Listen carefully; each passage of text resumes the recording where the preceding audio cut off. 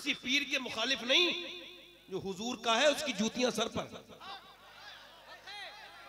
हाँ मगर हम उसकी बात कर रहे हैं, उसकी बात कर रहे हैं, जो दीन ठीक से नहीं बयान करते। औरतें आई तो मियाँ उनसे क्या कहा, इतने इतने, इतना ये ताबीज पहन लेना, इतने ये ताबीज पहन लेना, इतने ये ताबीज पहन लेना। अच्छा जरो इधर देखो, तवज्जो करो, इतने मजार पे हाजिरी लगा लेना इतनी बार मजार पे हाजिरी लगाना, इतनी जुमेरातें कर लेना, इतनी बार जाना। ये सारी जितनी भी खानकाएँ खुली हुई हैं, मैं खानकाओं का गुलाम, खादिम। मगर खानकाहों के निज़ाम का खादिम नहीं। सुन्नियत या निज़ाम खान का इस वक्त की नहीं है। ये बैठे हैं बड़े बड़े मालदार। इनको कोई कुछ नहीं कहेगा। ये गद्दी नशीनों के पास अरबों खरबों रुपया। किसी का मुँह नहीं खोलेगा उनके खिलाफ। कोई नहीं बोलेगा। जितनी भी तहरीरें लिखी जाएँगी शायरों के खिलाफ, मौलवियों के खिलाफ, लिखो। तुमसे ना तो कुछ बिगड़ा है, ना कुछ बिगाड़ पाओगे। और तुम उतना ही हक बोलते हो जितना तुम्हारे हक में है। कौन ऐसा है जो लेता नहीं? उसका नाम बताओ। तुम नाम बताओ, हम शिजरा खोलेंगे। तुम नाम बताते जाओगे, हम औकात बताते जाएँगे। हमने कौन से पीर के जलसे नहीं कराए? कौन से मौलवी को नहीं जाना? तुमने छोटे छोटे लोगों को पकड़ना शुरू कर दिया। तुमने उन मोटे मोटे लोगों को पकड़ना शुरू नहीं किया, जिनकी बैंकें भरी पड़ी हैं। तुमने ये नहीं समझाया कभी कि पीर बनो तो ये दुनियादार पीर न बनो। पीर बनो तो मुजाहिद मिल्लत की तेरा पीर बनो। जिसने खाया नहीं था, लुटाया था। नारे तकबीर, नारे उड़ीसा मोहब्बत, इश्क मोहब्बत। इश्क मोहब्बत इश्क, मोहब्बत।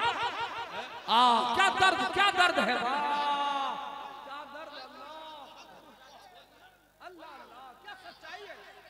कड़वा सच बात फॉर्चूनर फॉर्चूनर में चल रहे हैं मियाँ। आगे पीछे कई लोग घूम रहे हैं। हज़रत से कोई हाथ नहीं लगाएगा। हज़रत को हाथ नहीं लगाएगा। अबे तो क्या गैर महरम है हज़रत के ये? हाथ नहीं लगाएँगे। ये क्यों लाया था इस तोहफे को इस महफिल में? जब कोई हाथ ही नहीं लगाएगा, जब कोई मुसाफा ही नहीं करेगा तुझसे तो नहीं हो रहा, मगर मेरे नबी तो सबसे मुसाफा करते अरे, गरीब को तो मुसाफा करने नहीं मिल रहा। वो तो लाइन में लगा है। हटो। हज़रत की तबीयत ठीक नहीं। हटो हटो। हज़रत आराम कर रहे हैं। और अमीर आदमी बिल्कुल करीब में बैठ के नाश्ता कर रहा है, बिल्कुल जानू से जानू मिला करके। जी हुजूर, इधर पैसे वाला, उधर गरीब, बाहर रो के के कहता है, या रसूल अल्लाह मैं तो समझता था ये आपका नायब है, मगर यहाँ भी मेरी गुर्बत ने मेरा जनाजा निकाल दिया। मुझे बाहर खड़ा गया गया, अमीर अंदर चला गया। मेरे पास भी पैसे होते तो मैं पीर साहब से मुसाफा कर लेता। वो गरीब भागा फिर रहा है। मैंने उसका हाथ पकड़ के कहा यार, इससे क्या मिल रहा है? ये तो खुद कुछ नहीं है। अगर कुछ होता तो सबसे मिलता। आ, मैं तुझे बताऊँ, अगर तुरी अपनी ज़िंदगी कामयाब करनी है, इस मियाँ को राज़ी मत कर। आप मस्जिद में चल, और तू भी अल्लाह के सामने सर झुका, और मैं भी झुकाऊँगा। जितनी मेहनत इससे मिलने के लिए कर रहा है, अगर अल्लाह से मिलने के लिए करेगा तो अल्लाह मिल जाएगा। जवाब नारे तकबीर, नारे रिसालत। फैजान आला। अल्लामा सैयद कादरी।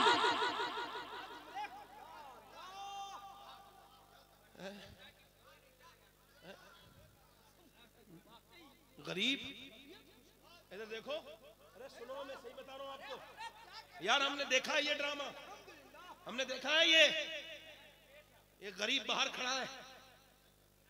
ऐसे करके हाथ बाँध के और अमीर के साथ मियाँ नाश्ते कर रहे हैं। लंबा सफ़र करके आया, हज़रत से मुलाकात करनी है।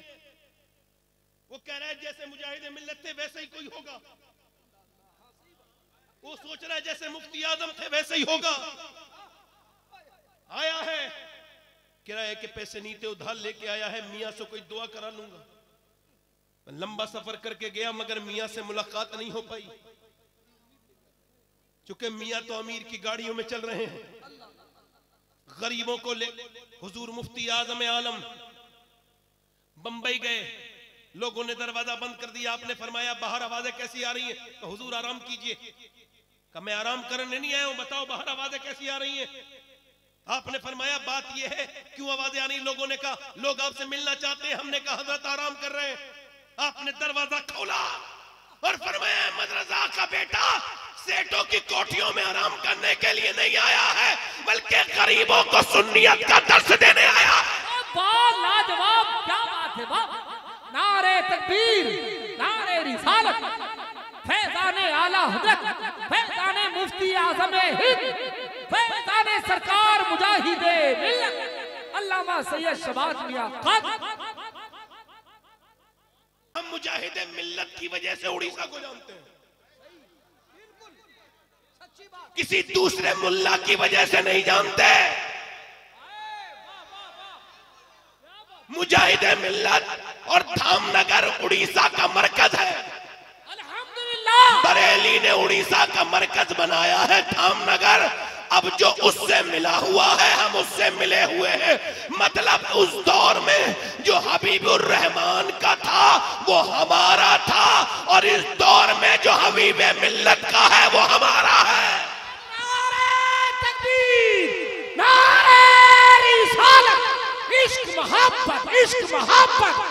फैजाने सरकार मिल्लत, हमारी हिम्मत, हमारी ताकत।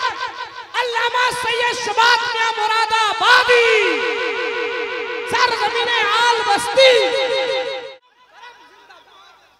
हक है हक है हक है अल्हम्दुलिल्लाह अल्हम्दुलिल्लाह हाँ वाह और सुनो तुम जो मुजाहिद मिल्लत के बारे में बात करते हो अगर वो ना होते तो तुम्हारी हैसियत ही कुछ नहीं होती। सही सही बात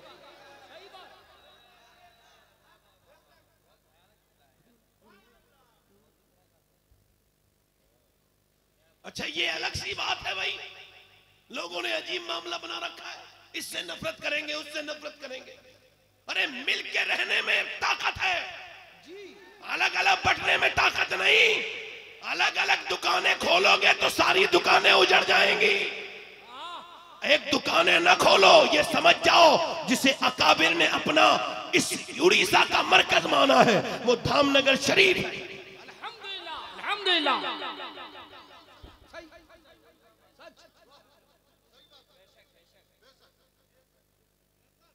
इससे सुन्नियों को बांटो मत आपस में एक बन के रहो। मैं फिर कह रहा था ऐसे ही बच्चे दरियाफ्त नहीं होते। पहले माँ नेक होती है और बाप नेक होता है तो फिर बच्चे? फिर बच्चे? अच्छा, दिल लग रहा नहीं लग रहा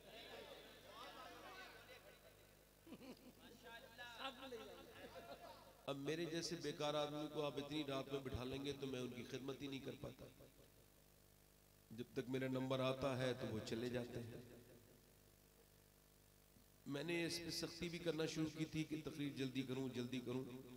फिर देखा कि लोग ये समझने लगे जैसे मैं अपने मतलब के लिए कर रहा हूँ। तो फिर मैंने ये सोचा कि चलो अब जैसी तुम्हारी तबीयत चाहे। चूँकि रात ज़्यादा हो जाती है तो अच्छी बातें भी असर नहीं करती है ना? थक जाता है बंदा। मगर गुजारिश करता हूँ जो बिल्कुल पीछे बैठे हैं तो आगे कुर्सियों पे आ आके जाइए आगे आ जाइए बात मान लीजिए सैयद साहब आ जाइए यार आ जाओ भाई। इधर एकदम आ जाओ आ जाइए सामने आ जाइए। हाँ माशाल्लाह। ए बाबू भाग रहे कनपट्टी सीधा हाँ मैं बाहर का नहीं हूँ। बेटा किसी जलसे में चलो देखते हैं। क्यों भागते हो शर्म नहीं आती? पेशाब करने का ढंग मालूम नहीं। बुरा मत समझिए। हाँ मुझे गुस्सा लग रहा है। नहीं नहीं कोई बात नहीं। अख्तर भाई कोई बात नहीं। कोई बात नहीं। क्या बात करते जी? कोई बात नहीं। भागता हमको देख के भागता क्या समझ? माशाल्लाह। ये हुजूर मुजाहिद मिल्लत की सरजमीन है।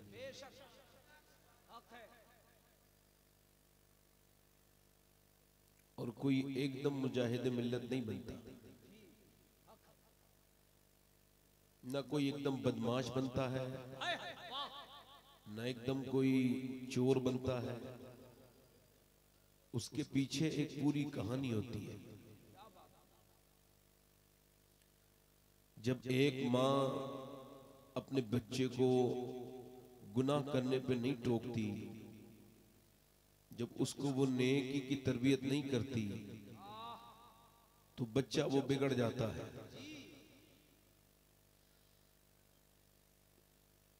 अब जब बच्चा चोरी करके आया, अम्मी ने अप्रिशिएट कर दिया।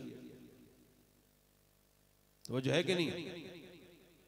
बच्चा चोरी करके आया, अम्मी ने उसका हौसला बढ़ा दिया। बच्चे ने गाली दी, अम्मी ने उसका हौसला बढ़ा दिया। बचपन में जब बच्चे कोई ऐसी बात करें जो आपको अच्छी ना लगे तो उनको मारा तोड़ा ना करो। ये बता दिया करो मोहब्बत से कि ये गलत कर रहे हो।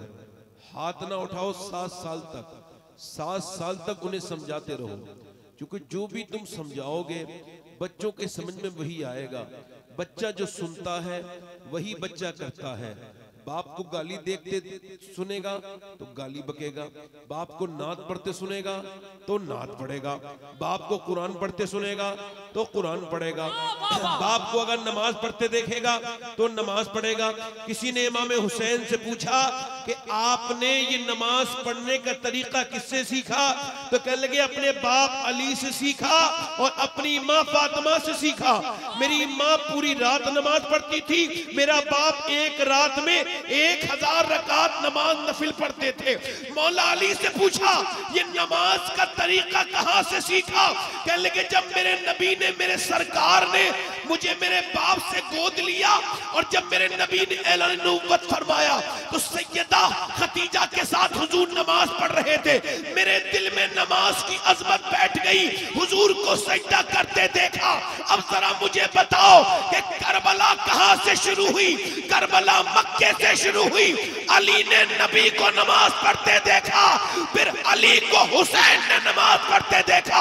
फिर हुसैन ने नेजे पे चढ़ के कुरान पढ़ा और सही नारे तकबीर नारे रिसालत फैजाने आला हज़रत। वाह ज़ोर से बोलो जरा। अगर आप अपने बच्चे के सामने नमाज़ की पाबंदी करेंगे, इधर देखना, गौर करना, अगर आप अपने तवज्जो करो, जरा गौर करो। अगर आप अपने बच्चों को बुराई से नहीं रोकेंगे, यानी वो मोबाइल चलाता चला जा रहा है, चलाता चला जा रहा है, चलाता चला जा रहा है, और आपको शूरी नहीं कि आपका बेटा अच्छा आप तो खुद बैठ और बैठ के मोबाइल चला रहे हैं। तो जो है? आप तो खुद मोबाइल चला रहे हैं उसके साथ।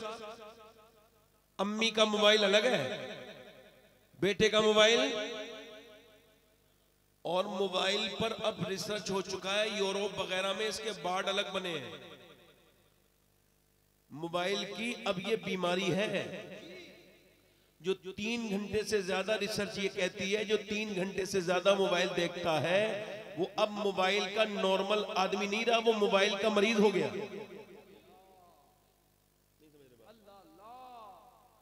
डोपामैन नाम का एक दिल लग रहा आप लोगों को, नहीं लग रहा इंसान जब किसी काम को इतना करता है जितना नॉर्मल है। तो वो कोई बात नहीं, मगर वो मोबाइल को पाँच घंटे देखने लगे, छह घंटे देखने लगे, सात घंटे देखने लगे।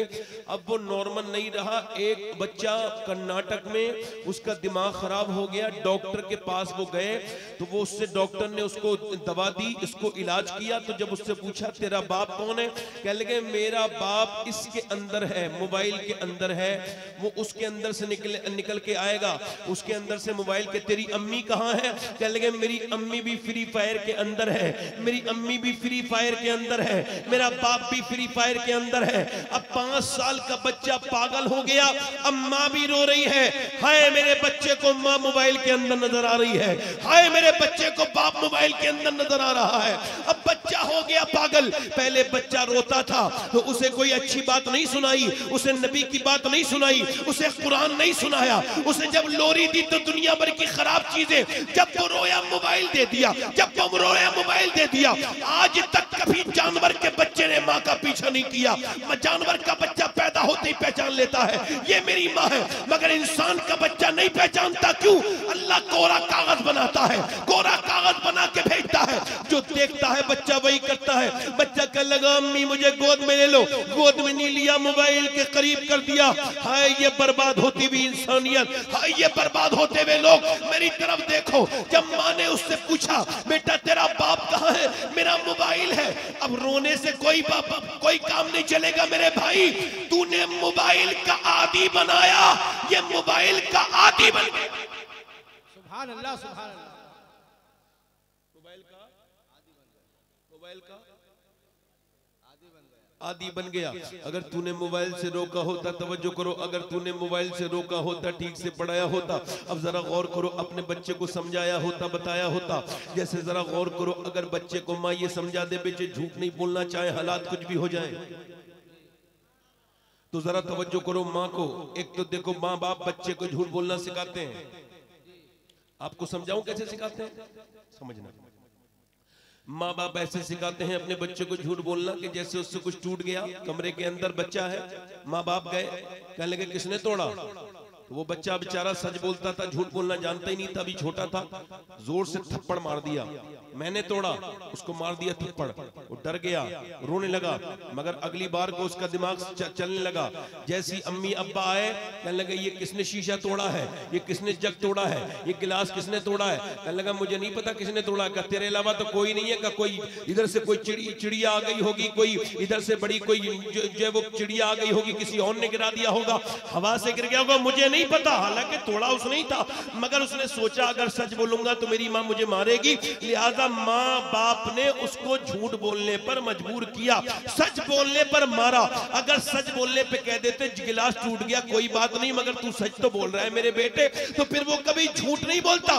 जब माँ बचपन में कहते, बेटे, हालात कैसे भी हो, झूठ मत बोलना। तो जब बच्चा निकलता है और जब वो अपने यहाँ से बगदाद का सफ़र करता है, रास्ते में उसको चोर पकड़ते हैं, कहते, तेरे पास कुछ है? कहता, मेरी सदरी के अंदर सिले हुए हैं, चालीस अशरफियाँ, डाकू जब अंदर देखते चालीस अशरफियाँ मिलती है। कहते, तू झूठ बोलता तो तेरी अशरफियाँ बच जाती, क्यों झूठ नहीं बोला?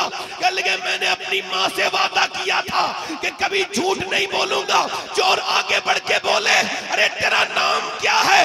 का मेरा नाम अब्दुल कादिर जीलानी है। कहने लगे, जब अब्दुल कादिर जीलानी की सच्चाई का ये आलम है तो फिर मदीने वाले की सच्चाई का आलम क्या होगा?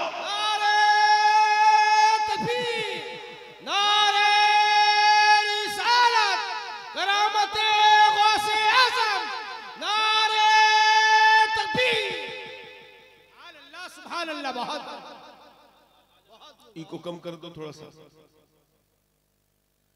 इसका मतलब यह है कि बनते नहीं हैं, बनाए जाते हैं। इधर देखो, बनते नहीं हैं, बनते नहीं हैं, बनते नहीं हैं। जब कोई अपना घर छोड़ के बगदाद को जाता है, फिर अपनी अम्मी के जनाजे पर भी पलटता नहीं। वो जो बगदाद में जब कोई फुटपाथ पर सोता है, जब कोई बगदाद में जाकर के चालीस अशरफियाँ पहले जाकर के बगदाद में पहुँचते हैं, चालीस अशरफियाँ खैरात कर देते हैं, उसके बाद मेरे गौसुल आज़म मदरसे में जाके कहते हैं कि मेरा दाखिला ले लो। मदरसे वाले चेक करते हैं तो कहते हैं, बेहतरीन पढ़ने वाले हो। दाखिला तुम्हारा सबसे नंबर वन में होगा। कहा, फ़ीस दो, फ़ीस का फ़ीस तो मेरे पास नहीं है। हालाँकि नाना ने चालीस सोने की अशरफियाँ दी थी, मगर गौसुल आज़म जब बगदाद में आए तो सबसे पहले आपने खाना नहीं खाया, बल्कि पूछा, फकीर किधर रहते हैं? गरीब किधर रहते हैं? परेशान हाल किधर रहते हैं? पहले अपनी चालीस अशरफियाँ उधर दे दी, और उसके बाद गौसुल आज़म मदरसे में गए मदरसे निजामिया में गए, और आपने अपना एग्ज़ाम दिया।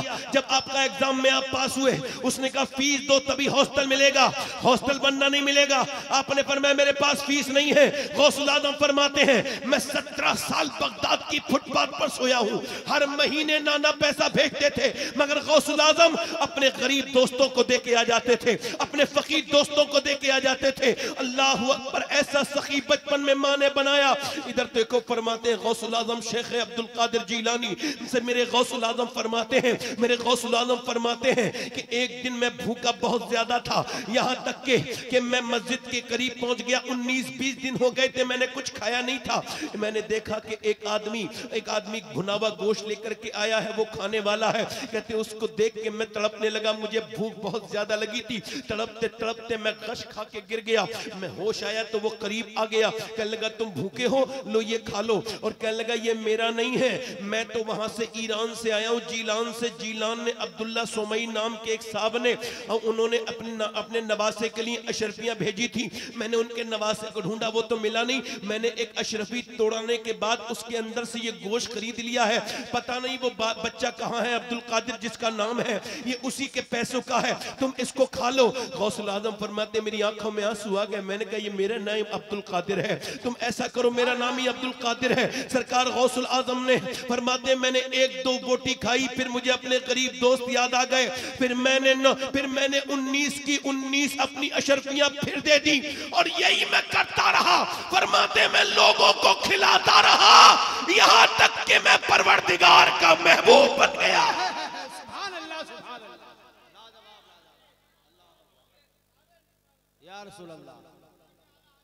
जिंदाबाद।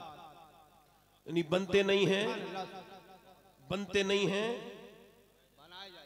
बनाए बनते नहीं हैं।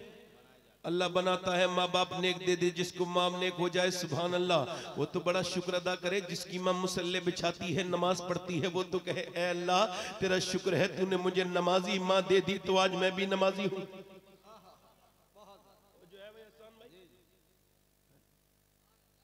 बाप को बाप नमाज़ पढ़ता अपने बेटे के सामने पढ़े तो बेटा हुसैन बने। हसन बने। जब माँ अपने बेटे को कुरान सिखाए, समझाए, पेट के अंदर कुरान पढ़े तो बेटा कुरान का हाफिज पैदा हो, वो शेख अब्दुल कादिर जिलानी बने। जब माँ अपने बेटे की तरबियत अच्छी सी करे, अल्लाह की मोहब्बत का जाम पिलाए तो बेटा संजर को छोड़े। पैरों में छाले पड़ते चले गए, पैरों में छाले पड़ते चले गए। एक इंसान चला था, एक, जिसके दिल में इश्क रसूल था। बागात का मालिक सब कुछ बेच के चल दिया, अल्लाह के नाम पे खर्च करके। कहाँ चला? हिंदुस्तान की तरफ़ चला है। क्यों चला है? इस वजह से चला है कि मेरे नाना के उम्मती वहाँ बन जाएँ। लोग कलमा पढ़ के मुसलमान बन जाएँ, अपने एक रब को पहचान लें। वो चला, उसके पाँव में छाले पड़ते रहे, फूटते रहे, मगर वो चलता रहा। उसके पाँव में जख्म हो गए, मगर वो चलता रहा। चलते चलते चलते चलते चलते उसने हिंदुस्तान की ज़मीन पे अपना पर पाँव रख दिया और पाँव रखने के बाद सजदा किया और कहा, मालिक, आना मेरा काम था और कबूल करना तेरा काम है। उसके बाद वही शख्स देखता है कि कुछ लोग माजल्ला आग को पूज रहे हैं। कहा, ये आग को क्यों पूज रहे हो? पैरों में छाले हैं, कोई अल्लाह वाला है। चेहरा उसका चमक रहा है। चेहरे की चमकने का आलम यह है कि जो देखता है, देखता रह जाता है। वो कहता है, ये क्या है? कह लगे, आग है। कहा, कब से पूज रहे हो? कहा, हमारे दादा, परदादा लकर दादा नस्लें पूछ रही है। इसी आग की परिस्थिति करती है। उसने कहा, क्या कि ये ये आग तुमको पहचानती है? कहा, नहीं, ये क्या तुम्हें जला देगी? कहा, जला देगी। कहा, इतने दिनों से पूज रहे हो तो फिर भी ये तुम्हें जला देगी? कहा बिल्कुल जला देगी। फरमाया, मगर ये मुझे नहीं जला सकती। कहा, क्यों? कहा, मैं इसे नहीं पूछता बल्कि आग के बनाने वाले परवरदिगार को पूछता हूँ एक अल्लाह को पूछता हूँ, लोगों ने कहा, ये क्या बात कर दी? आपने फरमाया, बिल्कुल लंबी पड़ी आग लगी हुई है दहक रही है आग लोगों से कहा, बताओ, अगर मैं इस आग में जाऊँ और ये मुझे ना जलाए तो क्या तुम कलमा पढ़ के मुसलमान हो जाओगे? पूरी भीड़ बोली, बिल्कुल हो जाएँगे। मियाँ, वो अल्लाह वाला आगे बढ़ा। उसने कुरान को पढ़ना शुरू कर दिया। उसकी आँखों में आँसू आए, हाथ उठा के कहा, मालिक, इस आग के अंदर जाना मेरा काम है। इन्हें ईमान की तौफीक देना तेरा काम है। ऐसे ही इस आग को कर दे, जैसे इब्राहिम के लिए ठंडा किया था, जैसे ही वो अल्लाह वाला उस आग के अंदर गया है। बहुत देर के बाद वो आग से बाहर निकला। तो चेहरा चमकता था। लोगों ने कहा, क्या नाम है तुम्हारा? कहा, मेरा नाम महीनुद्दीन चिश्ती है, चिश्ती। लोग आगे बढ़े। बोले, हमें कलमा पढ़ाओ जब नवासे की करामत का ये आलम है तो फिर नाना के मौजे का आलम क्या होगा? नारे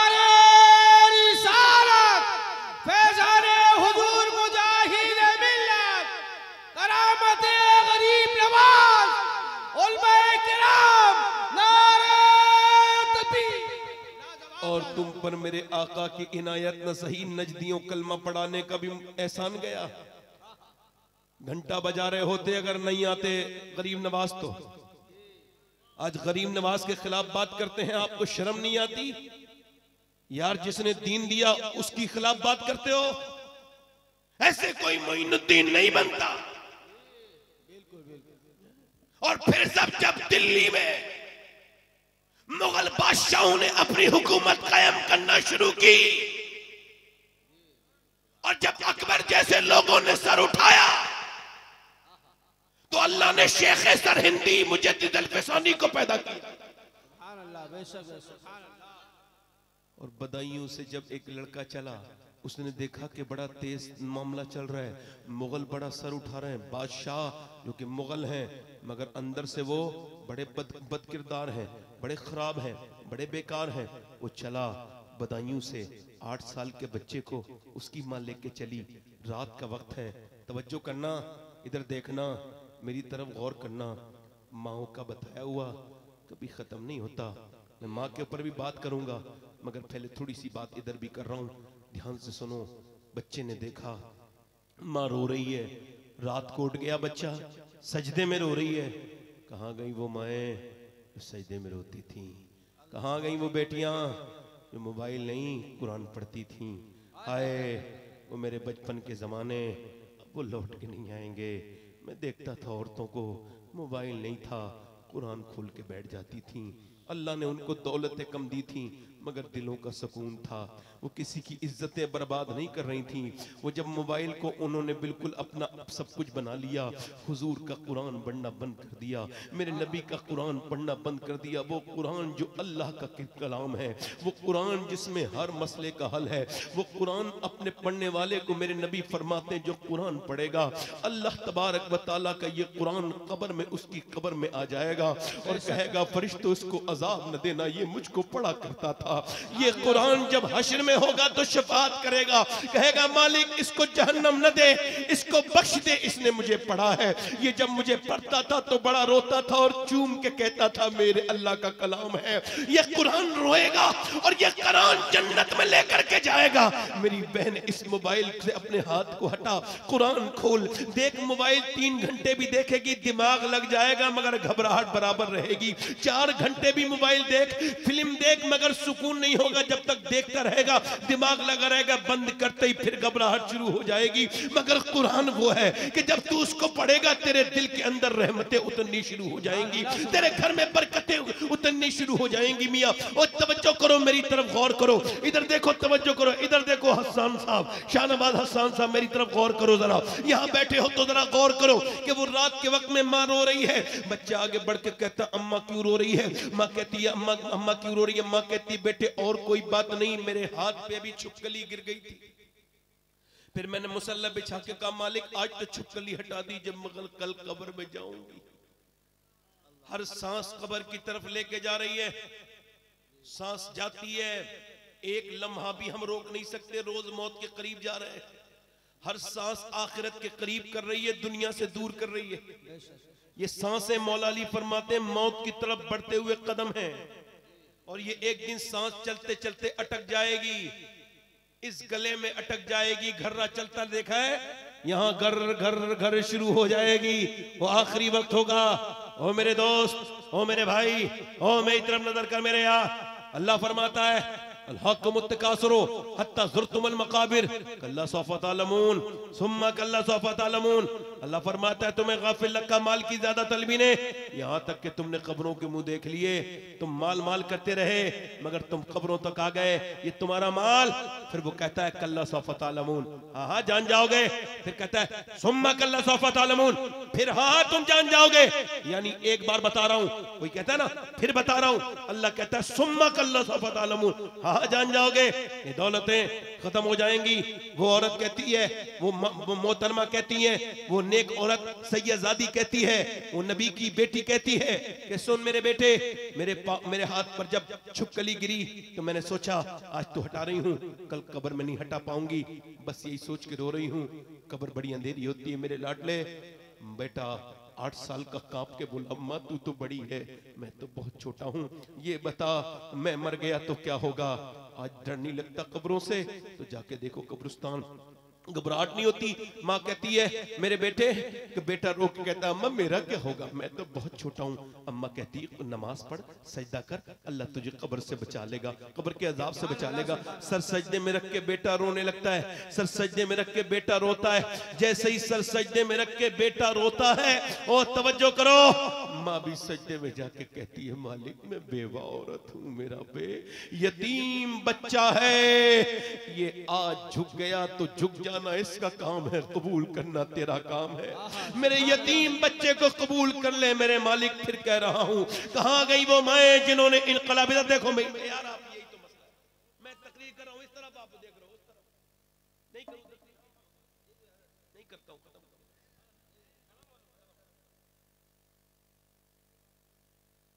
इस तरफ़ नहीं देखोगे मैं मसला है। दिल लगाना पड़ता है तकरीर करने वाले को भी और सुनने वालों को भी। ये इश्क नहीं आसा, पर इतना समझ लीजिए।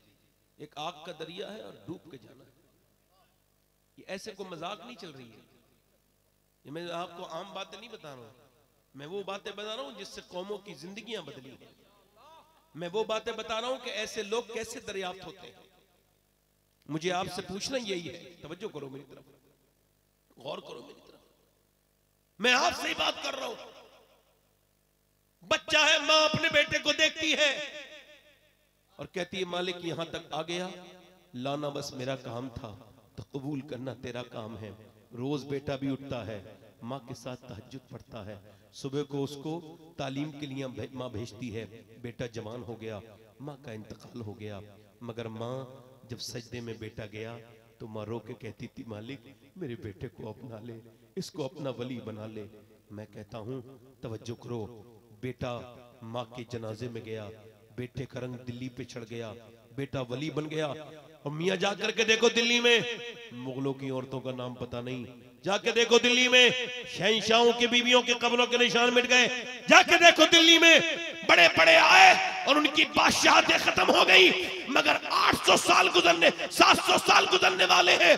जाके देखो दिल्ली में मियाँ कि जरा गौर करो, बादशाहों की बीबियों की कब्रें नहीं है। शहजादियों की कब्रें मिट गई, रानियों, महारानियों की कब्रें मिट गई। मगर जो रात को रोती थी सैयदा जुलेखा उसका मजार तीन बीघा ज़मीन के अंदर है। और बड़ा मजार बना हुआ है।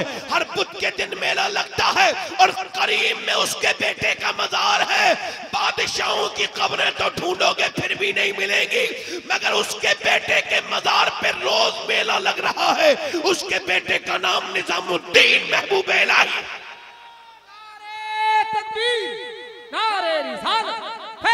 उलिया इकराम। हुजूर सैयद शबात मियाँ खान। अपने बच्चों को दीनी तालीम दे दीनी तालीम नहीं दे रहे अब ट्विंकल ट्विंकल लिटिल स्टार पढ़ाने वालों, पढ़ाओ, हम आपसे बुरा नहीं कहते अंग्रेज़ी तालीम ज़रूरी, असली तालीम बहुत ज़्यादा ज़रूरी है।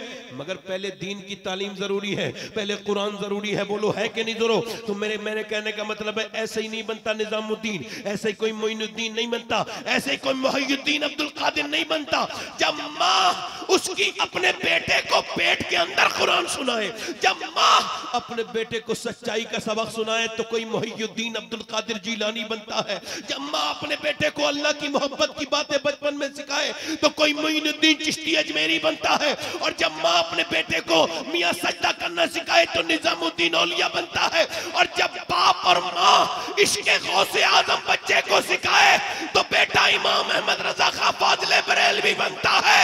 और जब माँ बाप अपने बच्चे के गौसे आज़म की मोहब्बत कूट कूट के सिखाए, और जब वही बच्चा बगदाद में जाए और गौसे आज़म की बारगाह में अपनी झोली फैलाए। तो जब वो बगदाद से लौटता है तो जब गया था तो नाम हबीबुर रहमान था। आया तो नाम मुजाहिद मिल्लत हो गया।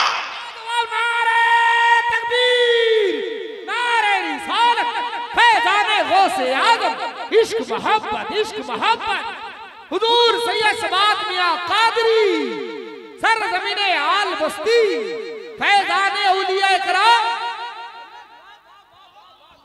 अरे लाजवाब लाजवाब, जिंदाबाद जिंदाबाद जिंदाबाद। हम लोग उड़ीसा को जो जानते हैं, मुजाहिद मिल्लत की वजह से जानते हैं। वजह से? हाँ बिल्कुल। एक मिनट से ज़्यादा कह के जाते यार, एक मिनट तो जाते जाते हो जाएगा। दिल लग रहा नहीं लग रहा है? मुस्कुरा के तो बोले। नहीं, ये सब मेरे अपने लोग हैं। मैंने जमजम भाई एक बात आज से सात साल पहले कही थी अभी फिर रिपीट कर रहा हूँ। मैंने कहा जल से जुलूस वालों आपस में मोहब्बत किया करो। नुकाबा शोरा। अच्छा उसकी वजह क्या है? हम अपने रिश्तेदारों से नहीं मिलते अपने घर वालों से इतना जितना अपनी इस लाइन वाले लोगों से मिलते। हैं क्या कह दी क्या जुमला दिया आपने? अल्लाह अल्लाह अमल की तौफीक अता फरमाए। वाह। ऐसा नहीं हो कि जब तुम मर जाओ तो तुम्हारी लैंड वाले लोग ये कहें बड़ा खराब आदमी था। नहीं नहीं नहीं। इतनी मोहब्बतें बिखेर के जाओ कि जब तुम्हारी मौत का खबर आए तो जमजम भाई रो दें। कहें, यार, वो आदमी जब भी मिला, बड़ा दिल खोल के मिला था। कुछ बिखेर के जाओ। जाओ तो ऐसे क्या जा रहे हो? झगड़े करके, गालियाँ देके अपने नफ्स के तुमने बुत खड़े कर लिए।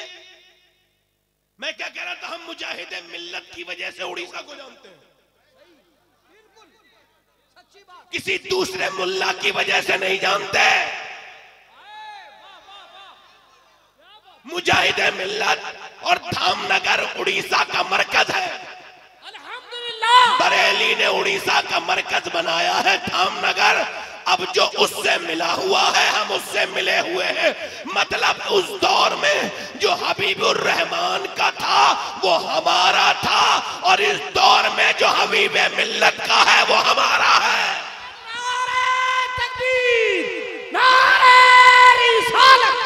इश्क, मोहब्बत इश्क, मोहब्बत।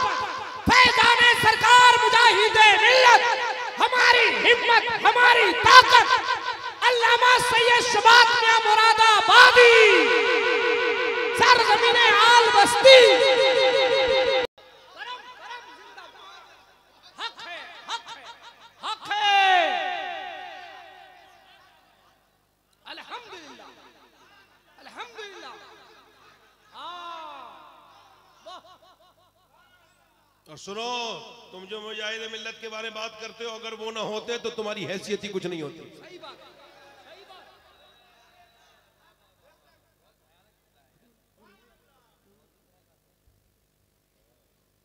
अच्छा ये अलग सी बात है भाई। लोगों ने अजीब मामला बना रखा है। इससे नफरत करेंगे उससे नफरत करेंगे। अरे मिल के रहने में ताकत है। अलग अलग बटने में ताकत नहीं। अलग अलग दुकानें खोलोगे तो सारी दुकानें उजड़ जाएँगी। एक दुकानें न खोलो ये समझ जाओ जिसे अकाबिर ने अपना इस उड़ीसा का मरकज माना है। वो धामनगर शरीफ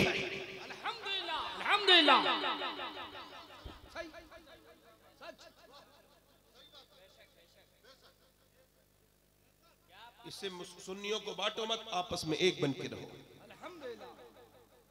मैं फिर कह रहा था, ऐसे ही बच्चे दरियाफ्त नहीं होते। पहले माँ नेक होती है और बाप नेक होता है तो फिर बच्चे? फिर बच्चे? दिल लग रहा नहीं लग रहा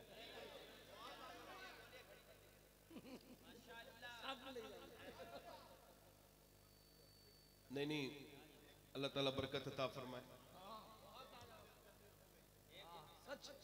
घरों में अच्छा क्या चल रहा है? आजकल माजल्ला घरों में क्या चल रहा है?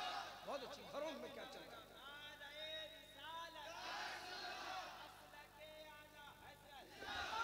ऐसे आला हज़रत फैजान हुजूर हुजूर हबीबे मिल्लत हुजूर हबीबे मिल्लत। सुनो। अल्लामा सैयद शबाब मियाँ साहब किबला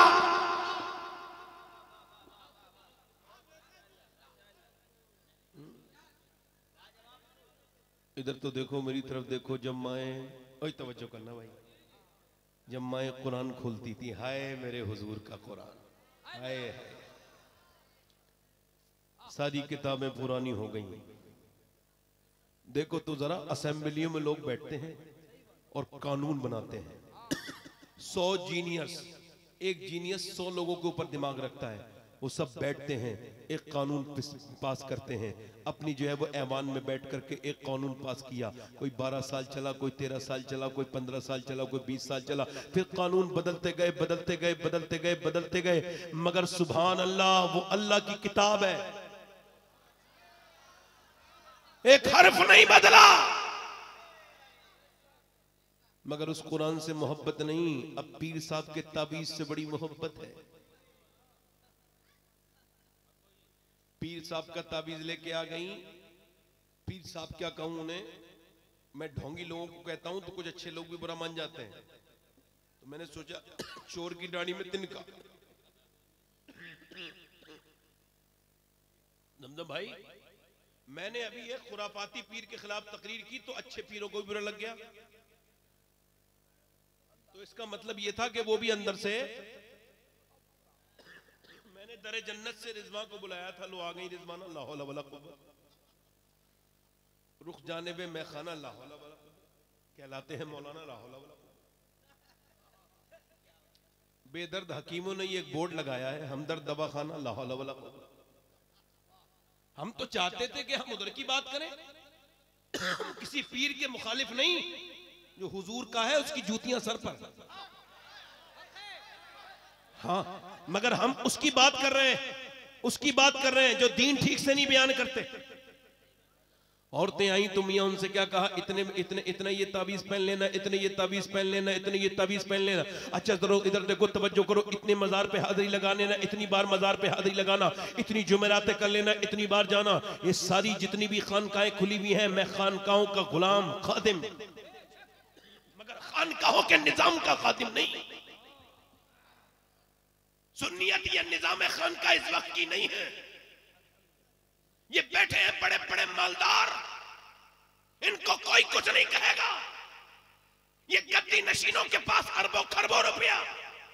किसी का मुँह नहीं खोलेगा उनके खिलाफ। कोई नहीं बोलेगा। जितनी भी तहरीरें लिखी जाएँगी शायरों के खिलाफ, मौलवियों के खिलाफ, लिखो। तुमसे ना तो कुछ बिगड़ा है, ना कुछ बिगाड़ पाओगे। और तुम उतना ही हक बोलते हो जितना तुम्हारे हक में है। कौन ऐसा है जो लेता नहीं? उसका नाम बताओ। तुम नाम बताओ, हम शिजरा खोलेंगे। तुम नाम बताते जाओगे, हम औकात बताते जाएँगे। हमने कौन से पीर के जलसे नहीं कराए? कौन से मौलवी को नहीं जाना? तुमने छोटे छोटे लोगों को पकड़ना शुरू कर दिया। तुमने उन मोटे मोटे लोगों को पकड़ना शुरू नहीं किया, जिनकी बैंक के भरी पड़ी है। तुमने ये नहीं समझाया कभी कि पीर बनो तो ये दुनियादार पीर न बनो। पीर बनो तो मुजाहिद मिल्लत की तेरा पीर बनो। जिसने खाया नहीं था, लुटाया था। नारे तकबीर, नारे रिसालत रईस मोहब्बत, इश्क मोहब्बत। इश्क मोहब्बत इश्क, मोहब्बत। क्या दर्द क्या दर्द है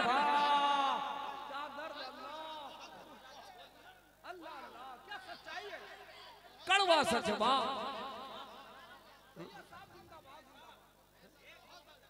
फॉर्चूनर फॉर्चूनर में चल रहे हैं मिया। आगे पीछे कई लोग घूम रहे हैं। हज़रत से कोई हाथ नहीं लगाएगा। हज़रत को हाथ नहीं लगाएगा। अबे तो क्या गैर महरम है हज़रत के ये? हाथ नहीं लगाएँगे। ये क्यों लाया था इस तोहफे को इस महफिल में? जब कोई हाथ ही नहीं लगाएगा, जब कोई मुसाफा ही नहीं करेगा तो उससे तो नहीं हो रहा, मगर मेरे नबी तो सबसे मुसाफा करते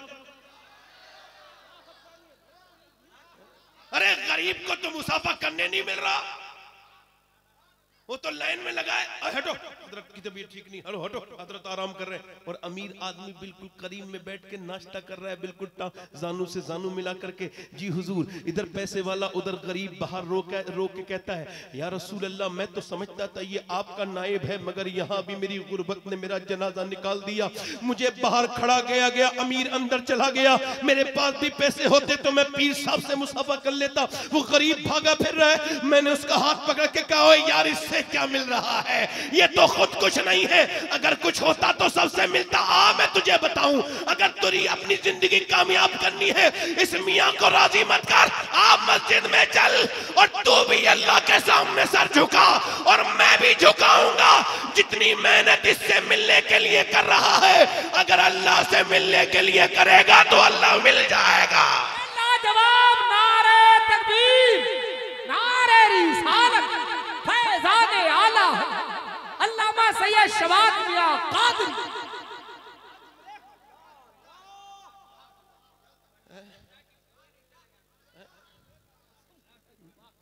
गरीब। इधर देखो। अरे सुनो, मैं सही बता रहा हूँ आपको। यार, हमने देखा है ये ड्रामा। हमने देखा है ये। ये गरीब बाहर खड़ा है। ऐसे करके हाथ बाँध के और अमीर के साथ मियाँ नाश्ते कर रहे हैं। लंबा सफ़र करके आया, हज़रत से मुलाकात करनी है। वो कह रहा है, जैसे मुजाहिद मिल्लत थे, वैसे ही कोई होगा। वो सोच रहा है, जैसे मुफ्ती आज़म थे, वैसे ही होगा। आया है। किराए के पैसे नहीं थे, उधार लेके आया है, मियाँ से कोई दुआ करा लूँगा। लंबा सफ़र करके गया, मगर मियाँ से मुलाकात नहीं हो पाई। चूँकि मियाँ तो अमीर की गाड़ियों में चल रहे हैं। गरीबों को ले। हुजूर मुफ्ती आज़म आलम, बंबई गए। लोगों ने दरवाज़ा बंद कर दिया। आपने फरमाया, बाहर आवाज़ें कैसी आ रही हैं? तो हुजूर, आराम कीजिए। मैं आराम करने नहीं आया हूँ, बताओ बाहर आवाज़ें कैसी आ रही हैं? आपने फरमाया, बात यह है, क्यों आवाज़ें आ रही लोगों ने कहा, लोग आपसे मिलना चाहते हैं। हमने कहा, हज़रत आराम कर रहे हैं। आपने दरवाज़ा खोला। और फरमाया मदरजा का बेटा सेठों की कोठियों में आराम करने के लिए नहीं आया है, बल्कि गरीबों को सुन्नियत का दर्श देने आया। लाजवाब, क्या बात है वाह नारे तकबीर, नारे रिसालत। फैजाने आला हज़रत, फैजाने मुफ्ती आज़म हिंद, फैजाने सरकार मुजाहिदे मिल्लत। अल्लामा सैयद शबाज मियाँ कादरी अम्मी आयशा फरमाती हैं। हैं? इधर देखो। हाँ दे कर रहे कर रहे लोग सभी कर रहे हैं। अच्छा कुछ मौलाना ऐसे हैं, जलसों में आते हैं। और जलसों में आके कहते हैं जलसे में जलसे से कोई फ़ायदा नहीं। अच्छा जलसे का फ़ायदा है नहीं किसी को मगर तुझे तो है? अल्हम्दुलिल्लाह अहले सुन्नत में कहीं कोई कमी नहीं। कोई शख्स अगर कोई खराब काम करता है, उसका जाती अमल है, ये अहले सुन्नत का अमल नहीं है।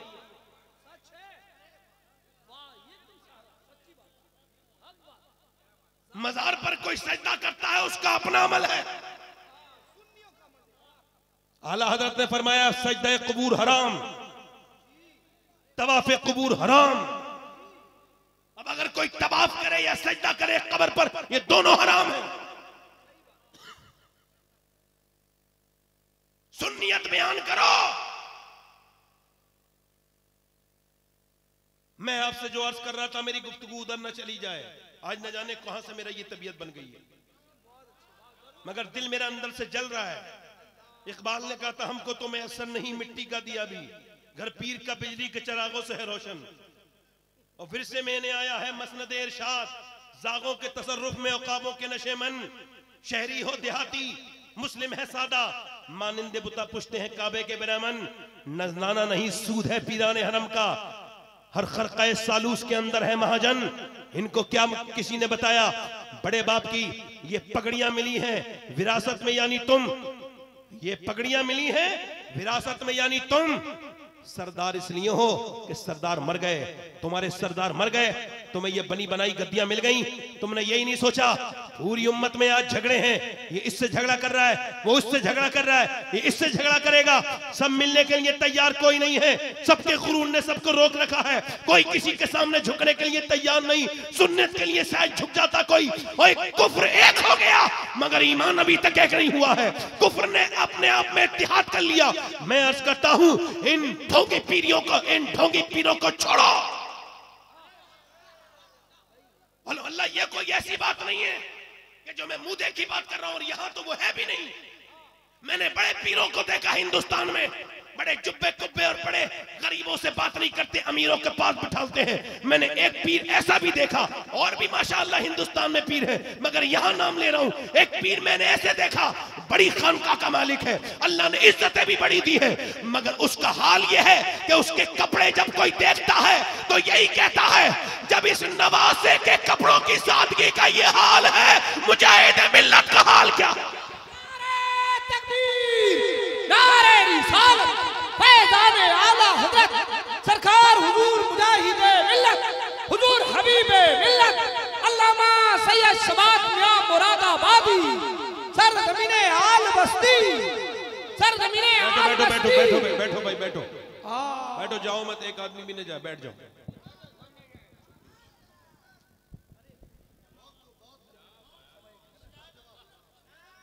ज़ोर से बोलो सुभान अल्लाह। एक मिनट बैठो। कामयाब कामयाब कामयाब जलसा वाह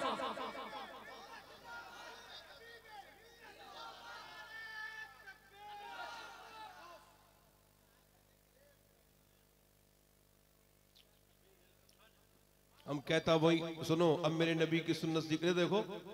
एक तो हज़रत को देखो, पीर साहब को। चौड़ी चौड़ी गाड़ी। महँगी महँगी घड़ी। महँगा महँगा जुब्बा। और महँगे महँगे लोग पीछे। हैं? इधर देखो, इंतज़ाम तगड़ा है। ये तो एक पीर साहब ये हैं। और एक है पूरी दुनिया का सबसे बड़ा पीर। वो खास इतना है, तवज्जो! महराज का महीना है। तुम तो मियाँ तुम तो आवाम से नहीं मिलते, मगर सुनो, तुम्हारे अंदर तो गुरूर आ गया। मगर उसकी कैफियत का हाल यह है जो पूरी दुनिया का सबसे बड़ा पीर है, सबसे बड़ा मुर्शिद है, सबसे बड़ा अल्लाह ने उसके हाथ पर लोगों को जो है वो जन्नत देगा। अल्लाह उसकी शफात से सबसे ज़्यादा लोगों को जन्नत देगा। वो कौन है मियाँ? वो आमना का लाल है। वो कौन है मियाँ? अल्लाह अकबर, उसकी सादगी को तो जरा देखो। सिहाबा कराम रदी अल्लाह सिहाबा कराम रदी अल्लाह तजमैन कहते हैं, हमने नबी पाक वसल्लम के साथ खाना बनाने वाले थे। एक जगह तो नबी पाक ने देख अल्लाह के रसूल भी लकड़ियाँ उठा उठा करके ला रहे थे। हमने कहा, या रसूल हम भी लकड़ियाँ लेके हम लेके आएँगे। हम गुलाम हैं आपके, हमारे होते हुए आप लकड़ियाँ लेके ना आए। फरमाया, मेरे आका ने, मैं ये नहीं पसंद करता कि तुम सब तुम सब में अलग हो जाऊँ। तुम सब में नुमाया हो जाऊँ, ना मैं पसंद करता हूँ, ना मेरा रब पसंद करता है। मस्जिद नबी शरीफ बन रही है। सब पत्थर उठा के ला रहे हैं, मेरे नबी भी पत्थर उठा के ला रहे हैं। अल्लाह अकबर, मियाँ वो बिलाल से भी मिल रहे हैं, वो मियाँ बिलाल से भी मिल रहे हैं, वो गरीबों से भी मिल रहे हैं, वो असाब सुफा के पास भी बैठ रहे हैं। मेरे नबी खास इतने हैं कि रब से मिले हैं और आम इतने हैं कि सबसे मिले हैं। खास इतने हैं, रब से मिले हैं, आम इतने हैं सबसे मिले हैं। नारे तकबीर नारे रिसालत, सीरत मुस्तफ़ा, किरदार मुस्तफ़ा, अखलाक मुस्तफ़ा। शान मुस्तफ़ा, जाने मुस्तफ़ा। देना। गरीब मर जाए तो उसके जनाजे में लोग नहीं जाते। अमीर अगर छींक दे तो लोग उसके घर जाते हैं, क्या तबीयत खराब हो गई? ओ, बेवकूफो, तुम्हारा दिमाग खराब है? सामान्य तिजारत मेरा ईमान नहीं है। हर दर पे झुके सर, ये मेरी शान नहीं है। ये तुम्हारा बेवकूफ़ इंसान मालदार के सामने जाके रोता है। कभी इतनी हसरत से अपने अल्लाह के सामने रोया जितनी मालदार के सामने रोता है।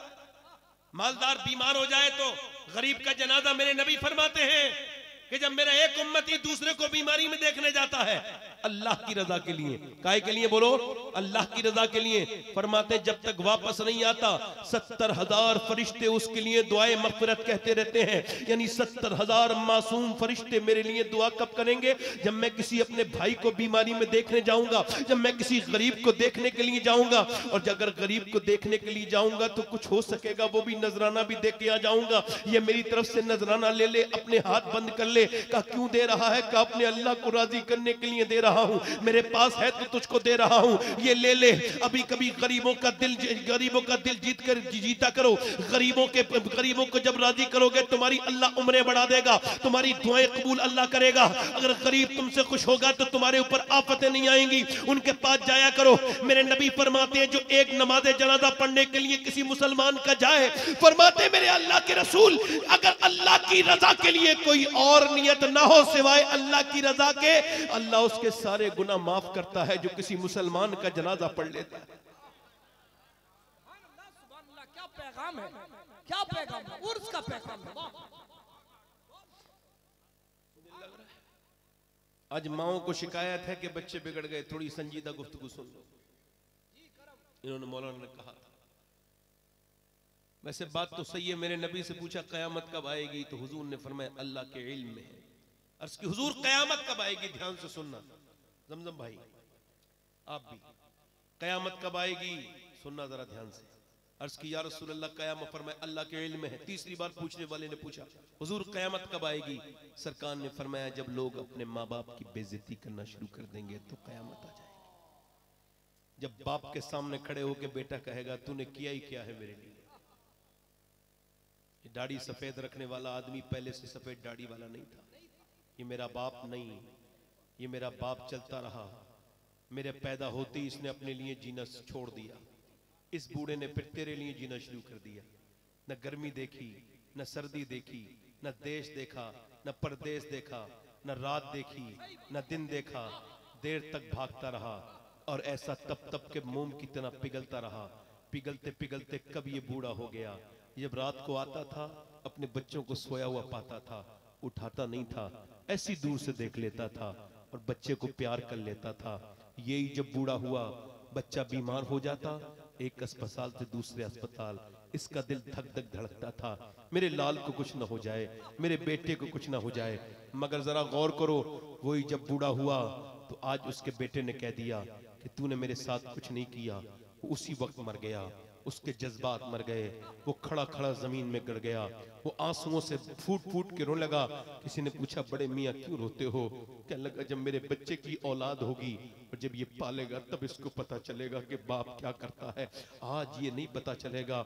मेरी अम्मी आयशा, सैयदा आयशा, तैयबा आयशा, ओ मेरी तरफ़ देखो, आला हज़रत के मानने वालों, ये मेरा पैगाम आला हज़रत के मानने वालों तक पहुंचाओ। आला हज़रत फाजिल बरेलवी रदी अल्लाह मेरे आका फरमाते हैं, आला हज़रत, फरमाते हैं कि जब मेरी मेरी माँ थी घर में तो मैं सारे पैसे अपनी माँ को देता था, जितना भी आता था, मेरे पार नज़र आती थी, जितना भी मेरी फ़सल से आता था, सब मैं अपनी अम्मी को दे देता था और फिर अपनी अम्मी से बाद में लेता था। अम्मी, लाओ अहमद रजा को खर्चे के पैसे दे दो।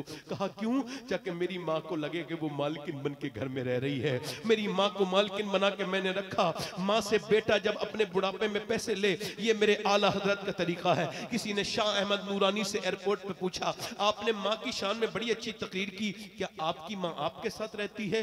रोने लगे, कहने लगे, मैं इतना बड़ा नहीं हुआ जो माँ को रख सकूँ अपने साथ। मेरी माँ मुझे आज तक रख रही है अपने साथ। मैं इतना बड़ा नहीं हुआ हूँ कि जो माँ को पालूं, आज भी मेरी माँ ही मुझे पाल रही है। आज तुम्हारी माएँ तुमसे डरने लगी हैं। तुम्हारा बाप तुमसे डरने लगा है। तुम झिड़क देते हो अपने माँ बाप को। तुम क्या समझते हो कि इससे तुम इससे तुम बहुत बड़े, तुम बड़े बाहियात हो। तुम बर्बाद हो गए। तुम्हें बचा नहीं सकता कोई। माँ बाप के गुस्ताख के लिए जिब्रील ने बददुआ की है और मेरे नबी ने आमीन कहा है। बच नहीं सकता माँ बाप का गुस्ताख।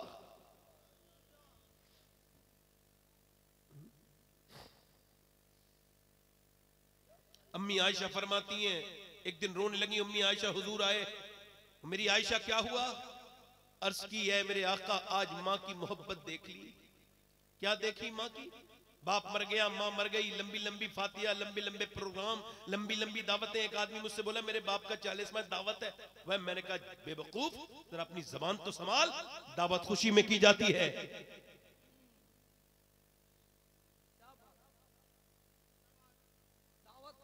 अब तो कोई मर जाए तो मरना भी मुश्किल है। लंबी फातिया कराओ। माजल्ला और ये खाने वाले, इनको शर्म नहीं आती। और खिलाने वालों को शर्म नहीं आती। पहले खिलाने वालों को शर्म आनी चाहिए। जिसके घर इंतकाल हुआ है उसको तो कुछ भी नहीं करना चाहिए पड़ोसियों को उसकी मदद करनी चाहिए। कहा तुम खाना नहीं बनाओगे हम बना बनवाएँगे खाना। और उस पे ये भी बोझ है कि तू खाना बिरयानी बनवा। जरा मेरी तरफ़ तवज्जो करो बाप मर गया तो लंबी लंबी फातिया करने वालों। कभी जीते जी हाथ चूमा बाप का? खुदा की कसम तुमने बड़े पीरों के हाथ चूमे होंगे। मगर जाके आज अपने बाप के हाथ चूम के देखना किसी पीर के हाथों में वो मज़ा नहीं है जो अल्लाह ने बाप के हाथ चूमने में मज़ा रखा है। किसी ए मोबाइल वाले भाई अपने उठ के जाओ कहीं और जाके बात करो। ये मेरे पास भी दो डिब्बे रखे हैं।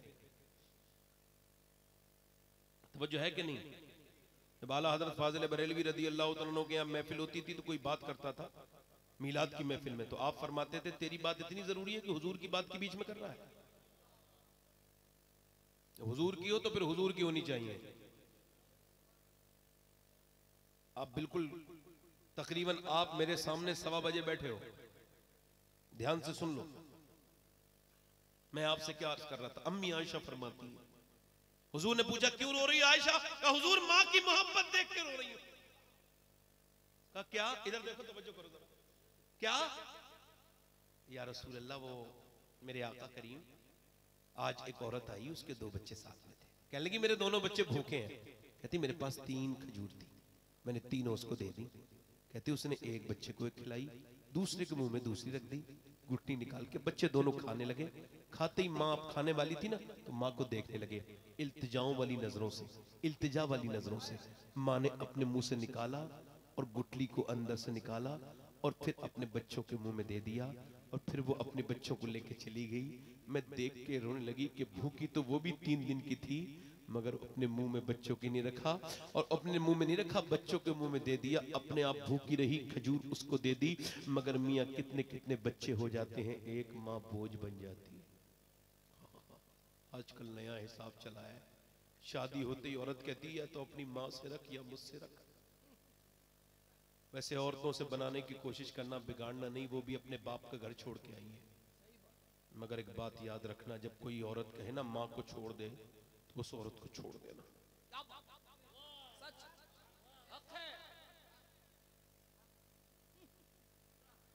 उससे कह देना इसने मुझे बचपन में दूध पिलाया इसको नहीं छोड़ूँगा। तू चली गई तो पचास और आ, आ सकती हैं। मर एक औरत मरी दूसरी तीसरी चौथी चार रख सकता है मगर माँ एक है। एक माँ के अलावा कोई दूसरी माँ नहीं है। आज माओ के साथ एक आखिरी बात बयान कर रहा हूँ। बंबई में या कोई बड़े शहर में एक आदमी गया, इंजीनियर बन के वहीं शादी कर ली। माँ को खबर हुई, माँ ने खत लिखे, बेटे, देखने का दिल करता है, दिखा दे, आजा मेरे लाल, ध्यान से सुनिएगा। जीस की आखिरी हिचकी है, गौर से सुन। ज़िंदगी भर का खुलासा इसी आवाज़ में है। वो जो गीत तुमने सुना नहीं, मेरी उम्र भर का रियाज था। बड़े ध्यान से सुनिएगा। आखिरी बात कर रहा हूँ, हो सकता है कोई अपनी माँ की मोहब्बत का पाबंद बन जाए। अल्लाह करे तो किसी को निकाल दे। ध्यान से सुने, उसकी, उसका लड़का इंजीनियर बन गया, माँ को भूल गया। माँ ने खत लिखे, बेटे तो गाँव से माँ को बुला लिया, रमज़ान के महीने में। अपनी माँ से कहा, आ जाओ। बीबी से अपनी कहा, अम्मी आ रही है, काम भी कर देंगी, रमज़ान के महीने में काम ज़्यादा होता है। अब वो माँ चली गई। गाँव, उसकी क्या पता इस चालाकी का, गाँव की माँ चली गई। बर्तन धो रही है। पूरे दिन बेटा बात ही नहीं करता है। ऑफ़िस आता है बच्चों के पास रहता है। माँ से बात नहीं करता। माँ से पूरे दिन कब काम कराया जाता है। सत्ताईस अट्ठाईस रमज़ान होने लगे। तो बीबी बोली हमें पर, हमें कब शॉपिंग कराओगे? खरीदारी कब कराओगे हमें? शादी की? ईद की। ठीक है इतवार के दिन चलते हैं। इतवार दिन बेटा बोला अम्मी को भी ले चलू? फिर बूढ़ी को ले जा। मैं नहीं जाती तेरे साथ। ठीक है तुम नाराज़ मत हो बेगम। मैं अम्मी से लिखवा लेता हूँ। जाके बोला, किचन में बेचारी सुबह सुबह बर्तन धो रही थी। अम्मा, ये लिख के दे दो, तुमको क्या चाहिए ईद वाले दिन? अच्छा बेटा, ईद वाले दिन कोई कपड़े पहनने हो, कोई चीज़ की ज़रूरत हो? माँ ने कहा ठीक है, उसने खत लिख दिया। कहा, बेटे, जाओ बाज़ार में जाके खोल लेना। बाज़ार में गया। पूरे दिन तो अपने बच्चों को, अपनी बीबी की खरीदारी की दोपहर के वक्त बीबी से बोला कि, अम्मी का देख लूँ? हाँ बोलो, देखो क्या क्या मंगाया है तुम्हारी माँ ने। देखो क्या क्या फरेस लंबी लिखी है। देखो। तो उसने जब खत पढ़ा ना तो चीखे मार के, दहाड़े मार मार के, और अपने सर पे वो मार मार के खत रोने लगा। क्या लिखा था मालूम है? उसके अंदर लिखा था, मेरे बेटे, आज एक महीने के बाद तूने पूछ ही लिया कि मुझे क्या चाहिए।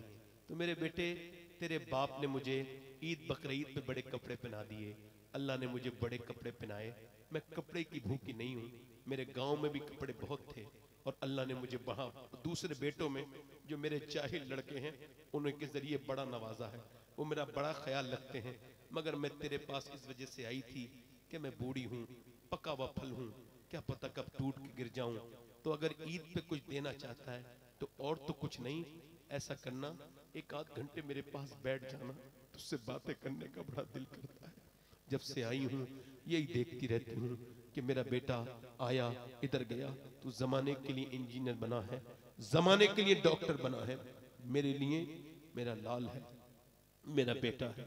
मैंने बड़ी आवाज़ें सुनी, बड़े लहजे सुने, मगर ऐ माँ, तेरे लहजे की तरह कोई लहजा नहीं। ऐ मेरी प्यारी माँ, जब तू घर पे थी, बड़ी बरकतें थी। जब तू घर में रहती थी, तू जब चली गई है तो अब घर सुना सूना लगता है। अब घर में दिल नहीं लगता, पहले भी घर था। मगर जिस कमरे में तू थी, वो कमरा बड़ा प्यारा था। ऐ मेरे बाप, तू जिस कमरे में खांसता था, उस कमरे में बड़ी रौनक थी। आज वो चार भाइयाँ तुझे याद कर रही हैं। कल ये मर जाएँगे माँ बाप तो फिर रोया करोगे। जीत जी, खिदमत कर लो, उनसे मोहब्बत कर लो। माँ से पूछ लिया करो, थोड़ी देर बैठ जाया करो। पूछ लिया करो, कुछ चाहिए? अपनी सारी दौलत अपनी माँ के कदमों में रख दिया करो। ले अम्मा, इसको रख ले, वो तुम्हारी दौलत खराब खर्च नहीं करेगी। आज तक मैंने नहीं सुना कि किसी की माँ अपने बेटे का खराब पैसा खर्च करती है। बस यही सुना फला की बीबी ने फला के पैसे ज़्यादा खर्च कर ये नहीं सुना कि माँ ने माँ अपने बच्चे से बहुत प्यार करती है उससे दुआएँ लिया। मोहब्बत किया करो। आखिरी बात मेरी मैं करके खत्म करता हूँ। अल्लाह आपको आबाद रखे। अल्लाह ताला आपको सलामत रखे। मैंने पहले भी अर्ज़ कर दिया आपसे। भाई, आवाज़ एक बार में करा दो, आपको जो भी कराना है। आपके आने जाने से मैं बहुत डिस्टर्ब हुआ हूँ। और कम करा दो, कोई बात नहीं, हमें इस महफिल में आवाज़ जाए बस। इधर देखो, मेरी इधर तवज्जो करो। इधर देखो। हुजूर फरमाते बेनमाजी जब मरेगा तो उसको इतनी प्यास लगेगी अगर सात समंदर का पानी भी पी ले फिर भी उसकी प्यास नहीं बुझेगी। हुजूर फरमाते हैं, बेनमाजी कयामत के दिन जब आएगा तो वो उनके साथ खड़ा होगा जो अल्लाह के दुश्मन है यानी फिरौन के साथ नमरूद के साथ। जिसने एक वक्त की नमाज़ छोड़ी उसने दीन को अपनी पीठ के पीछे छोड़ दिया। मेरे दोस्त नमाज़ पढ़ ले इन हाथों ने कितनों को दफन कर दिया हाय, वो नौजवान याद आते हैं, जिनको मैंने अपनी खातों से कब्रों में दफन किया था। हाय, वो रिश्तेदार मुझे याद आते हैं। कौन रिश्तेदार? वो मेरे अज़ीज़, वो मेरे दोस्त, वो मेरी बहनें, वो मेरी रिश्तेदार और पहले मैंने एक सांप को कब्र में उतारा। और इधर देखो, तवज्जो करो। सबको ही रहना है सबको ही जाना है दुनिया से। कोई नहीं बचेगा। ये दुनिया, यूँ ही आबाद रहेगी दुनिया। हम ना होंगे तो कोई हमसा होगा। और याद रखना कितना भी दिल लगा ले कोई ज़िंदगी के साथ ये ज़िंदगी बफा नहीं करती किसी के साथ। लाई हयात आए कजा ले चली चले अपनी खुशी ना आए ना अपनी खुशी चले। बेहतर तो है यही कि ना दुनिया से दिल लगे पर क्या करें जो काम ना बेदिल लगी चले। ओ मेरी तरफ़ तो, तवज्जो करो और गौर करो मेरे दोस्तों कब्र के अंदर मैंने रख दिया। रखने के बाद मैं जब बाहर निकला तो मैंने सोचा फिर तू निकल गया। पाँच गए थे चार बाहर निकले हैं। यही तो आला हज़रत का शेर है। आए गाफिल, वो क्या जगह है जहाँ पाँच जाते हैं, चार फिरते हैं। दो कब्र के ऊपर खड़े होते हैं, दो कब्र के अंदर जाते हैं और एक मुर्दा होता है। पाँच हो गए। अब दो अंदर वाले ऊपर वाले को हाथ में ले लेते हैं और नीचे को रख देते हैं। फिर ये दो भी बाहर निकल गए, ये चारों बाहर निकल गए। अब तख्ते लगा दिए गए, तख्ते के ऊपर मिट्टी डाल दी गई। मिट्टी के बाद कोई नहीं पलटा। हाय, किस दुनिया से दिल लगा लिया? इस कब्रिस्तान में जाके देखो, तुम्हारे, हमारे, इनके, उनके सबके रिश्तेदार हैं। बाप का, बाप की खबर कब्रिस्तान में है। बेटा रोज निकलता है, दस मिनट फातिया नहीं पढ़ता। अपने बाप के लिए दुआएँ मफरत नहीं करता। ना ना कोई याद नहीं रखता किसी को। तो तुम इस दुनिया के चक्कर में क्यों पागल हो गए हो? ये जो दुनिया मरने के बाद तुम्हारी तरफ़ पलटेगी भी नहीं, मरने की बात तो छोड़ो। जब तुम ज़्यादा बीमार हो जाते हो तो यही दुनिया कहती है, ये मर जाए तो बेहतर है। और मेरे दोस्त, तौबा कर ले। मैंने बड़े मरते हुए लोगों को देखा। तू तौबा कर ले मेरे भाई। आखिरी बात तुझसे यही है कि तौबा कर ले। उससे कहे, मालिक, हमको माफ़ कर। हम पे फजल फरमा दे। हमने बड़ी खताएँ की, बड़ी नमाजें छोड़ी। बड़े हमारे अमल बुरे थे। हमने तेरे तरफ़ मुँह नहीं किया। एक कफन चोर बाई अज़ीज़ बस्तामी की बारगाह में तवज्जो करना। कहने लगा, हुजूर, मैं अल्लाह मुझे माफ़ कर देगा। कहा मेरे गुनाह बहुत है, क्या करते हो? कफन चुराता हूँ। अल्लाह माफ़ कर देगा। यहाँ आओ। तौबा करो, तौबा करवाई फिर पूछा ये बता। तवज्जो करना। तूने कितने लोगों को दफनाया? एक हज़ार से ज़्यादा। उनने कफन चुराए कहा? तो कितने लोगों के मुँह किबले की तरफ़ थे? कितने लोगों के मुँह? तो वो रो के बोला, हुजूर, इसी वजह से तौबा करने आया हूँ। एक हज़ार में चार पाँच लोगों के मुँह किबले की तरफ़ थे। बाकी सबकी गर्दनें मुड़ी हुई देखी मैंने। क्यों? हज़रत बाई यजीद रो के बोले, मालूम है क्यों? जीते जी जब किबले की तरफ़ मुँह नहीं किया तो मरने के बाद कौन होते हो किबले की तरफ़ मुँह करने वाले?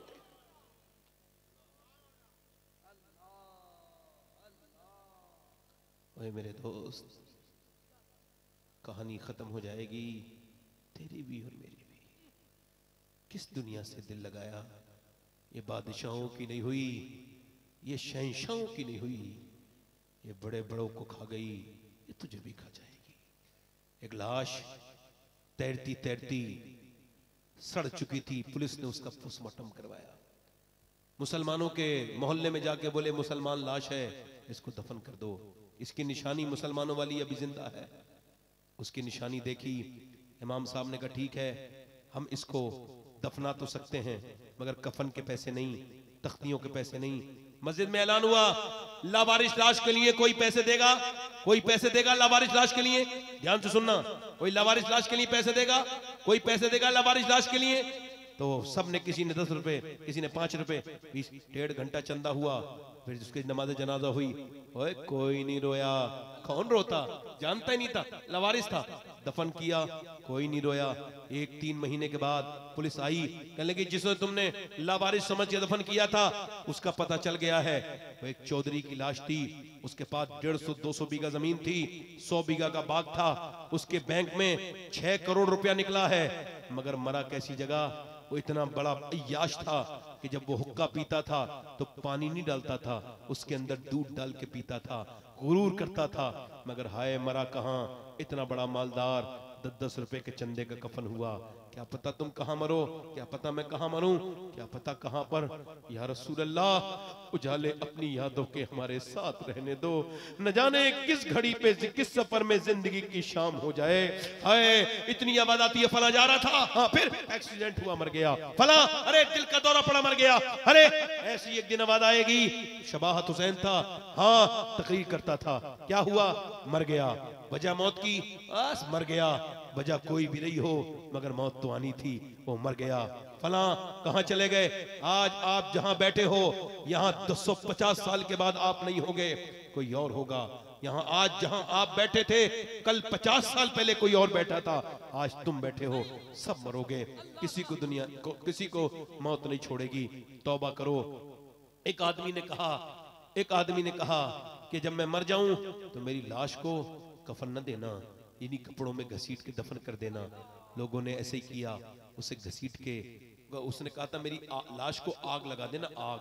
दफन न करना। हुजूर फरमाते हैं मुस्लिम शरीफ की हदीस है। उसको आग लगाई गई। उसके बच्चों ने जब उसकी राख अल्लाह ने जमा की आखिरत में और उससे पूछा तूने क्यों आग लगाई थी?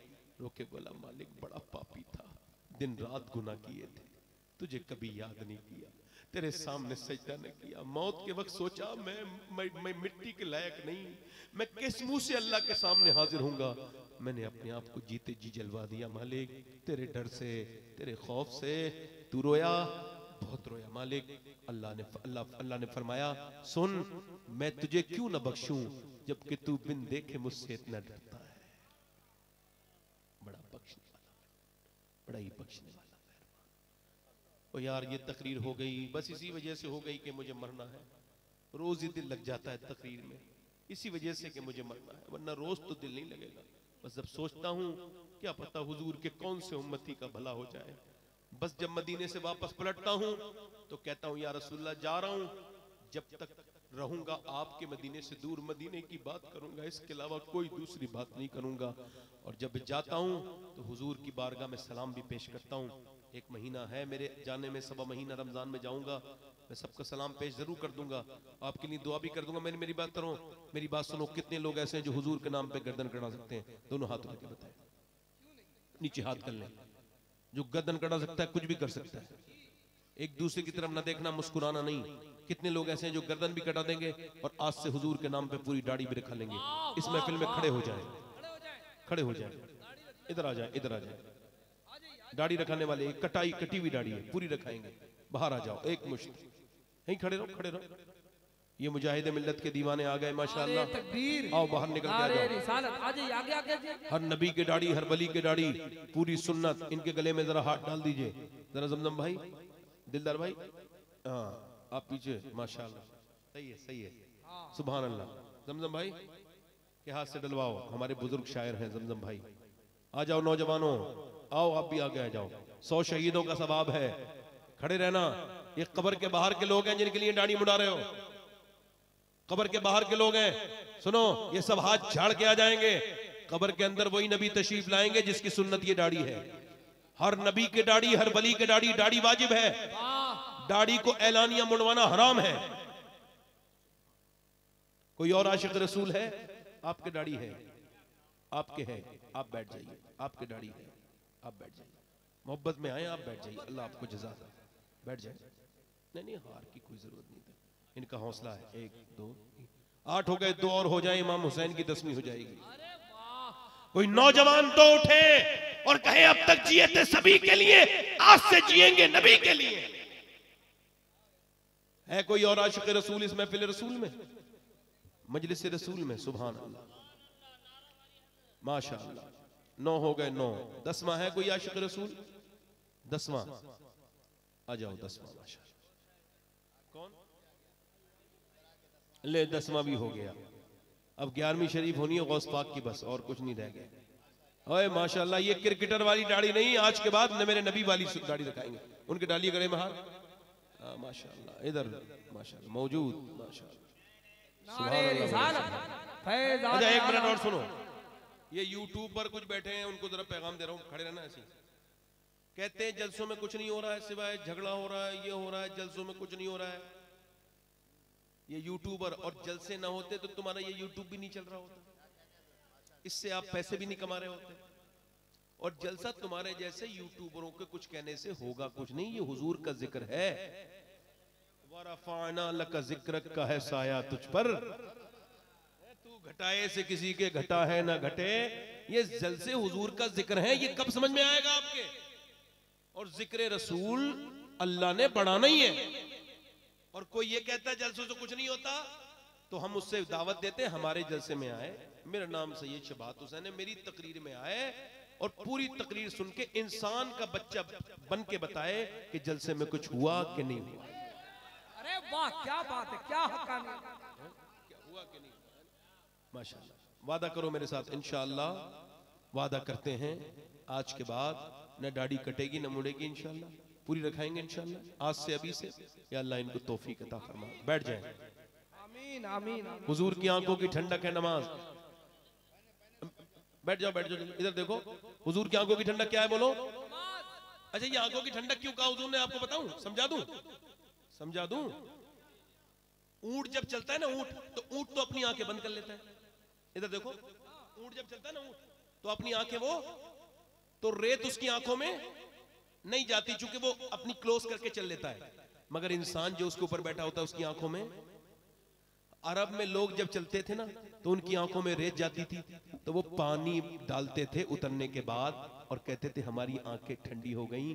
हुजूर ने फरमाया, जैसे वो रेत वाला मुसाफिर आँख में पानी डालता है, उसकी आँखें ठंडी होती हैं उससे ज़्यादा जब मेरा उम्मती नमाज़ पढ़ता है तो फिर मेरी आँखों को ठंडक पहुँचती है। क्या पैगाम है क्या पैगाम है? इंशाल्लाह नमाज़ की पाबंदी करेंगे दोनों हाथ उठा के बोलो इंशाल्लाह। अपनी बहन बेटी को पर्दा कराएँगे इंशाल्लाह। अल्लाह आप सबको सलामत रखे बात रखे। तोबा करें